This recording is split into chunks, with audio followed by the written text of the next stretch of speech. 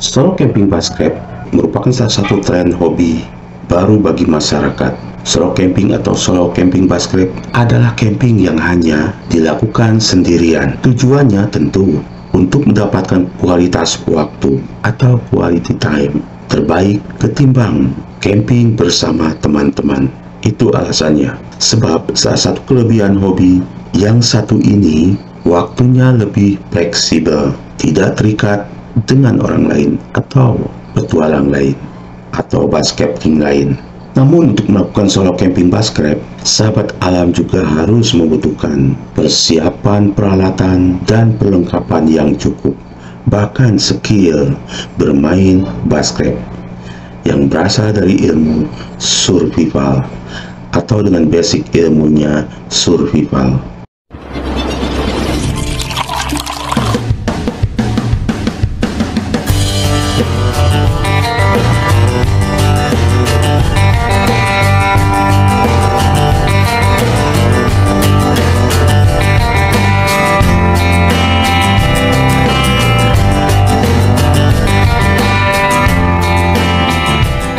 Sobat Alam, kembali lagi bersama saya di Agusman di Gap Channel. Sobat Alam, solo camping, apalagi solo camping basket, saat ini merupakan salah satu tren hobi baru bagi masyarakat, khususnya masyarakat Indonesia. Solo camping atau solo camping basket adalah camping yang hanya dilakukan sendirian. Tujuannya tentu untuk mendapatkan kualitas waktu atau quality time terbaik ketimbang melakukan camping bersama teman-temannya atau bersama teman-teman. Sebab salah satu kelebihan hobi yang satu ini yaitu solo camping basket waktunya lebih fleksibel tidak terikat dengan orang lain. Namun, untuk melakukan solo camping, apalagi solo camping basket, sahabat alam butuh mempersiapkan peralatan dan perlengkapan yang cukup.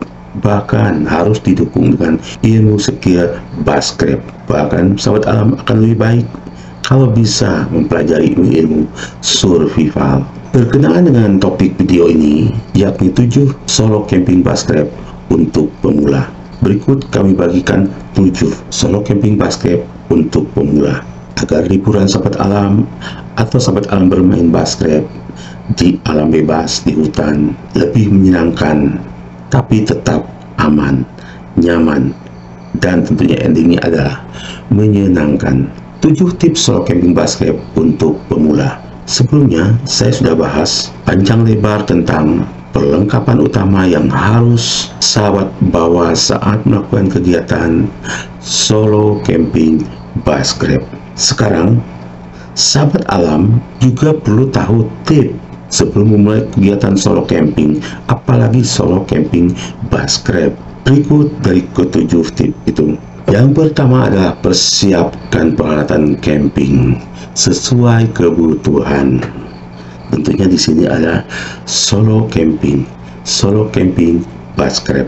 Sebelum solo camping, perhatikan terlebih dahulu ketersediaan peralatan dan perlengkapan yang sesuai dengan kebutuhan sobat alam bermain basket. Sebab solo camping basket tidak sama dengan camping. Pada umumnya, solo camping berarti sahabat alam melakukan camping sendirian maka peralatan yang sahabat alam bawa juga harus sesuai dengan kebutuhan sahabat alam sendiri sehingga tidak perlu berlebihan. Agar hasil tidak berat salah satu yang harus sahabat alam persiapkan tentu adalah tenda, alat masak, akomodasi, serta alat kesehatan. Di video-video sebelumnya sahabat alam sudah tahu bahwa ada beberapa bagian kegiatan bermain basket. Mau sahabat ampul natural semi natural atau dicampur dengan portable modern. Sobat alam bisa memilih gaya bermain basket dari tiga pilihan. Berikutnya adalah cari lokasi camping yang aman. Pemilihan lokasi menjadi faktor penting kegiatan sahabat alam bermain solo camping basket agar kegiatan sahabat alam lebih berkualitas dan tentunya berkesan. Jangan sampai memilih lokasi yang terlalu jauh dari keramaian, apalagi khusus buat sahabat alam yang masih pemula. Sebab solo camping baskrep punya risiko bahaya lebih besar ketimbang camping bersama-sama teman lainnya. Jadi perhatikan lokasi yang sahabat alam pilih dan pastikan juga dekat dengan sumber air. Dan kalau bisa juga masih ada signal provider untuk komunikasi. Hal ini untuk memudahkan sahabat alam untuk mendapatkan akses akomodasi terpenting, yaitu air untuk minum atau masak. Tekstur tanah sebagai ground camping juga perlu sahabat alam pilih dengan tepat. Jangan memilih lokasi yang terlalu dekat dengan jurang. Yang ketiga, perhatikan rute. Tip berikutnya ini adalah memilih rute terbaik.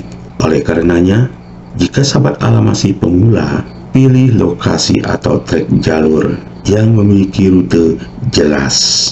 Artinya, bukan lokasi yang belum pernah ada orang camping. Sebab sahabat alam harus memulai membuat jalur sejak awal. Hal tersebut bertujuan, andai ada hal buruk terjadi, maka sahabat alam bisa dengan mudah meninggalkan lokasi camping atau sebaliknya. Tim medis bisa dengan mudah menuju lokasi camping ground atau lokasi sahabat alam. Berikutnya yang keempat, pantau kondisi cuaca. Cuaca juga menjadi faktor yang perlu sahabat alam.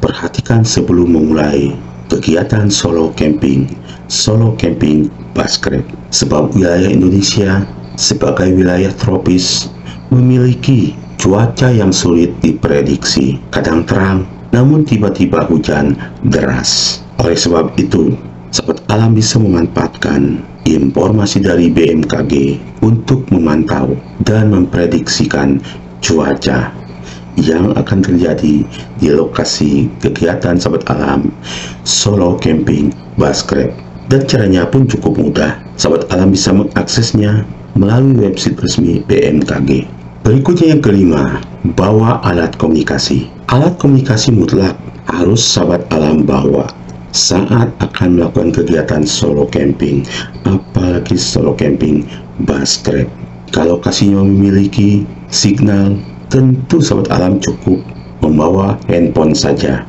Tapi jika lokasi camping jauh dari signal atau provider atau pemancar WTS, sahabat alam bisa membawa kitaki yang tentunya memiliki jangkauan gelombang radio yang cukup jauh. Hal ini sebagai antisipasi jika ada hal-hal yang tidak diinginkan terjadi, misalnya tersesat dan lain sebagainya. Ada banyak pilihan walkie-talkie yang bisa sahabat alam bawa. Misalnya Popung UP82, Walkie-Talkie Radio HT, Taikom P80V, 80 PHF, Lithium, atau Bopeng GT3. Berikutnya yang keenam adalah beritahu teman atau keluarga. Tujuan slow camping adalah menghabiskan waktu untuk berlibur, refreshing, dan tentu tidak bikin keluarga khawatir. Oleh karenanya, jangan lupa untuk memberitahu terlebih dahulu pada teman atau keluarga sebelum sahabat alam memulai kegiatan solo camping baskrep agar keluarga yang sahabat alam cintai tidak khawatir dan tahu persis lokasi sahabat alam berada. Hal ini juga memudahkan tim penyelamat jika terjadi hal-hal yang tidak diinginkan. Ini terakhir dari ketujuh tip solo camping basket untuk pemula.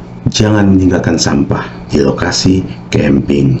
Menikmati alam bukan berarti berbuat semena-mena, sehingga jangan sampai sahabat alam datang ke sebuah tempat dan meninggalkan sampah. Lab no track, pastikan seluruh sampah sahabat alam bawa pulang dan tidak meninggalkan di lokasi camping. Hal ini menjadi etika yang harus dimiliki oleh setiap orang yang melakukan kegiatan camping agar alam tetap asri dan terjaga. Sobat alam, di beberapa negara, mungkin juga Indonesia, bahwa untuk melakukan kegiatan camping basket, apalagi sobat alam, melakukannya secara solo camping, umumnya khusus untuk petualangan bergaya basket, biasanya lokasinya tertentu. Kenapa? Karena dalam kegiatan basket ada kegiatan-kegiatan yang sifatnya natural seperti membuat api unggun yang juga berfungsi untuk dipakai untuk memasak bahkan membuat bipak untuk tempat tidur atau bermalam atau untuk berlindung. Artinya sahabat alam akan menggunakan sumber daya alam seperti batang-batang bambu atau kayu atau dedaunan untuk menutup untuk dipakai sebagai penutup shelter. Sahabat alam juga harus punya keahlian belajar memahami ilmu-ilmu survival dari memulai membuat trap, membuat bipak atau shelter, dan sahabat alam juga bebas membuat shelter mau natural 100% khusus dari sumber daya alam atau dipadukan dengan benda-benda atau material portable. Sahabat alam, perlu sahabat alam ketahui juga bahwa bermain basket adalah kita bermain bergaya berpetualang seperti sahabat alam membayangkan. Sahabat alam menjadi seorang Tarzan yang tinggal di hutan, bermain di hutan, dan mempertahankan hidup sahabat alam di hutan. Namun, sesuai dengan perkembangan zaman, basket tidak hanya 100% natural. Sahabat alam bisa memadukan dengan material-material modern seperti playset, kompor, portable, dan sebagainya. Oke sobat alam, itulah 7 tips solo camping basket khusus untuk sahabat alam yang masih pemula. Sering-sering belajar memahami ilmu-ilmu survival yang itu akan menjadi bekal skill sobat alam bermain crab. Jangan sampai lupa, sebab persiapan yang matang menjadi modal penting bagi aktivitas sobat alam. Selanjutnya, lakukan tiga prinsip aman, nyaman, yang akhirnya bisa menyenangkan. Oke sobat alam, buat sobat alam yang baru bergabung di YouTube channel, saya mohon dukungan dan solidaritasnya dengan cara bantu like share kepada sahabat alam lainnya. Dan jangan lupa komentarnya untuk perkembangan Gap Channel. Dan jangan lupa pula bantu subscribe-nya dan tekan loncengnya agar sahabat alam tidak tertinggal di materi-materi berikutnya di Gap Channel. Saya Abusman bersama Gap Channel. Salam kali.